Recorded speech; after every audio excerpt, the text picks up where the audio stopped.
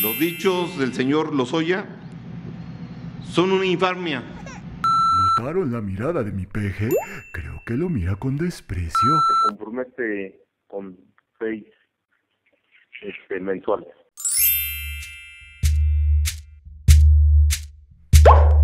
Hola criaturas, bienvenidos al Carmelo Arteaga Roa Show. Ay, hoy estoy aquí solamente por un momento. Yo tenía que salir a decir lo que tengo que decir, pero antes ya saben, denle like para que esto siga funcionando y también pasen la voz y suscríbanse, suscríbanse por favor para que hagamos este círculo cada vez más grande. Bueno.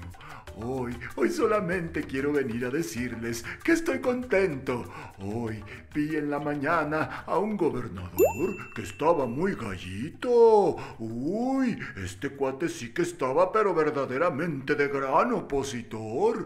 Yo creo que hasta tenía sueños presidenciales, pero le cayó caca la sopa. Vean cómo se refirió al presidente. Ay, barbero. Ay, pero es que sabe que tiene la cola toda sucia. Vamos a ver cómo hace el ridículo. Es como siempre para su servidor, así como para toda la sociedad queretana, grato darle la bienvenida a nuestro Estado al señor presidente de la República, licenciado Andrés Manuel López Obrador. Él se cuadra. ¡Ay! Andaba tan gallito, pero como tiene una colota que le pisen, le da la bienvenida. Le manifiesto mi respeto y mi gratitud por la atención que ha dado en todo momento a la necesidad de las queretanas y los queretanos. Esa ha sido la constante de su gobierno y no solamente en el tema de seguridad, que lo hemos platicado ampliamente y que le digo al señor presidente que cuenta conmigo para estar de forma presencial o virtual, como decidamos en esta coordinación en el Estado, eh, mi presencia. ¿Notaron la mirada de mi peje? Creo que lo mira con desprecio, pero por supuesto, es el presidente de la República y está a la altura de las circunstancias. Mientras el otro... Nos ha distinguido siempre, señor presidente, con su apertura y también con su empatía. Y por ello quiero aprovechar esta ocasión para abordar ante usted, señor presidente, y ante los medios de comunicación y de frente a todas las personas un tema, si me lo permite, señor presidente, que para mí es personal y central. En mi vida siempre he dado la cara y hoy no será la excepción. Los gobernantes tenemos la obligación de enfrentar los hechos más cuando se trata de calumnias, de infamias, de ataques centrados en cuestiones políticas. El señor Emilio Lozoya ha, ha pretendido involucrarme con una bajeza inaudita en actos de corrupción. Lo que es inaudito Pancho, es que el PAN haya prometido que iba a acabar con la corrupción. Llegó Fox diciendo que las tepocatas, que las víboras prietas, y lo único que hizo fue proteger al PRI. Calderón hizo lo mismo. Calderón dejó a su colaborador cercano para que se quedara en el gobierno de Peña para proteger sus intereses. Por supuesto, me refiero al que luego se convirtió en candidato del PRI. Mid. Ay, cómo se hacen tontos. Eso sí que es inaudito, Pancho. Ha aportado solo sus dichos que valen lo que su prestigio. Nada. De manera perversa, se filtró un video en donde aparece una persona en la que deposité mi confianza y que me acompañó por años.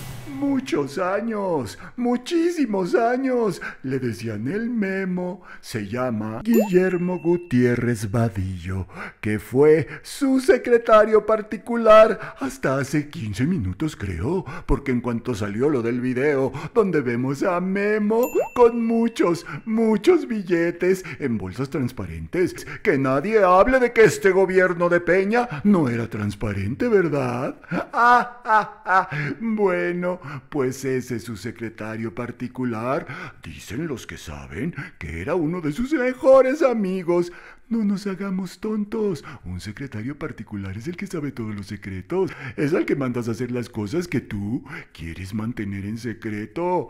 Ese es el que se embolsó toda la lana. ¿A dónde fue ese dinero? Me pregunto yo. Vamos a seguir viendo esto que es verdaderamente penoso. Lo removí de su cargo y di parte a las instancias correspondientes para que él, a su vez, apele a su derecho que le convenga. Por mi parte, no tengo nada que temer, nada de qué avergonzarme y nada que ocultar. Los dichos del señor Lozoya son una infamia por varias razones. Primero, nadie puede comprar lo que ya tiene. Desde que fui diputado federal, con respeto apoyé la reforma energética en el 2008 que fue propuesta por el Partido Acción Nacional. La seguí apoyando como senador de la República. De hecho, la presenté yo personalmente a nombre de mi partido. Siempre he tenido convicción de que la reforma era benéfica para el país. Por tanto, como legislador, mi trabajo fue dar al país el mejor marco legal, no su implementación y menos un legislador superación. No había necesidad de darme dinero para obtener un voto que ya se tenía por convicción personal. No, si los panistas son listos. Todavía yo entiendo que los del PRD dijeron, no queremos, somos nacionalistas. Ay, ¿Cuánto? ¿Seis millones? Bueno, está bien, hago como que no veo. Pero tú Pancho Domínguez, si tú estabas de acuerdo, ¿por qué? Dime por qué mandaste a tu memo a que fuera a recoger toda esa lana porque quien crea que ese memo se llevó el dinero, ay, pues seguramente es un imbécil. Nosotros hace tiempo que no nos chupamos el dedo en México. Continúa Pancho.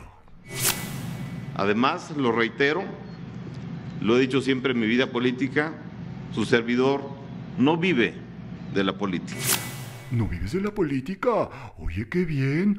Cuéntame, en esta grabación que voy a presentar ahora, esta que fue una filtración de una conversación tuya con otro que hoy también es gobernador, hablaban muy claramente de la lana que les estaban mandando. Cors, que ahora sabemos gracias a que lo soya. Lozoya canta, por favor, canta. Ay, qué bonito cantas. Largo de aquí. Ah, pues les decía, gracias a mi amigo Emilio que canta tan bonito, nos enteramos que el nombre clave de Osorio Chong era Michael Kors. ¿Por qué? Porque ese diseñador, que es un diseñador muy fifí de alto pedorraje, era el favorito de Miguel o sea, que ellos estaban hablando de Michael Kors, o sea, Chong. Vamos a escuchar. Pongan atención y vean cómo funcionan los panistas. Dos panistas, dos gobernadores, dos rateros.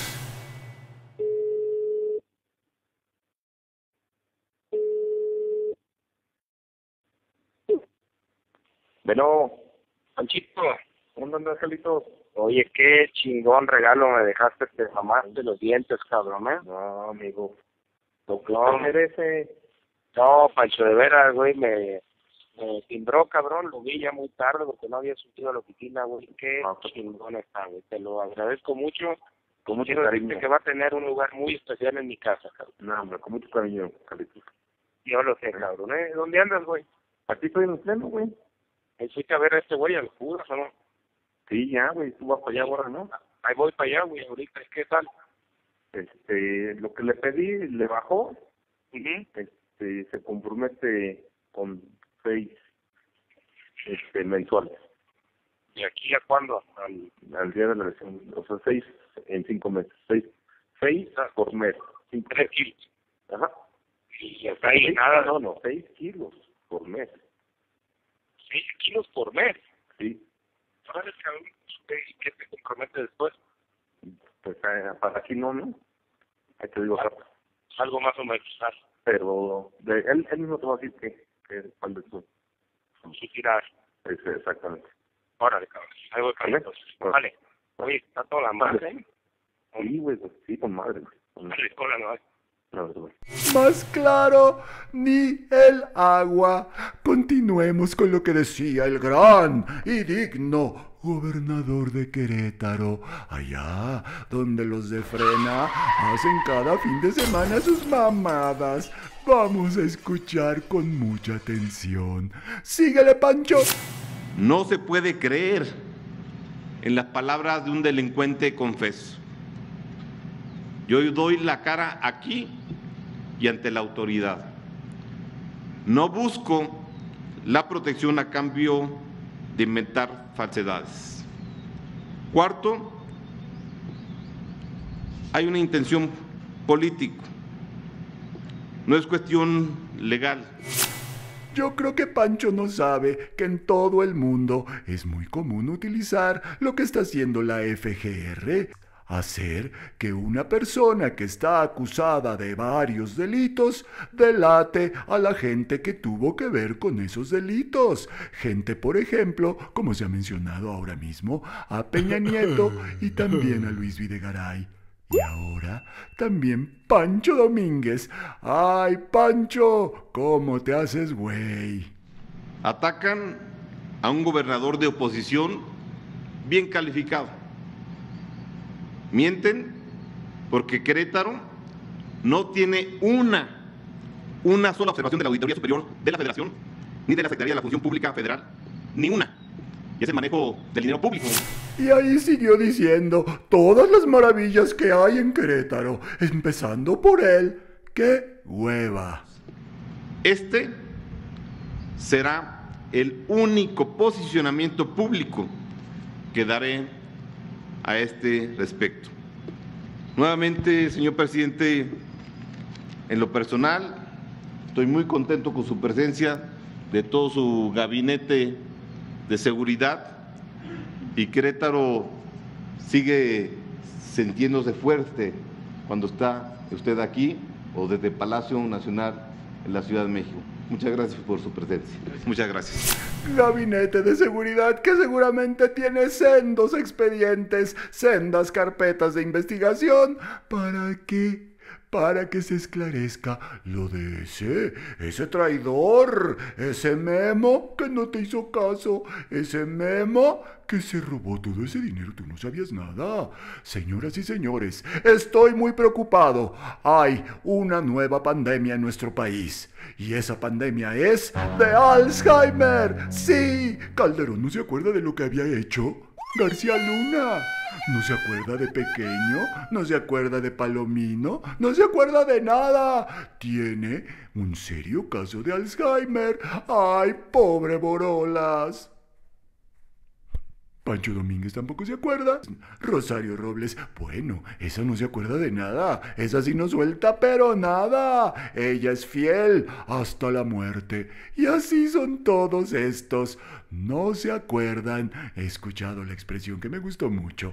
Olvidan calderónicamente. En fin, criaturas, yo solamente quería estar con ustedes un momento para decirles, Francisco Pancho Domínguez está perdido Él creyó que tenía lo suficiente para llegar a ser candidato presidencial. Ahora estamos viendo el fin de su carrera política. Qué bueno, qué bueno, porque lo que vamos a hacer en el 21 es borrar por completo al PRIAN, esa calamidad que hizo tanto daño a nuestro país. Bueno, criaturas, ya saben, nos vemos en las redes sociales, los adoro. Y ya saben, denle like, no sean gachos. Lupita, Lupita, te estoy viendo a ti. ¿Le vas a dar like? ¿Sí o no? ¡Hazme caso, Lupe! Ah, eso. Dale like y suscríbete, por favor. Ya van muchos videos que has visto. Tienes que suscribirte. Bueno. Besos, Lupita. Qué guapa estás hoy. Tú dices. Ya, ya, me voy, ya me voy. Bueno, criaturas, nos vemos en el próximo. Carmelo Arteaga. Rayo. ¡Ta,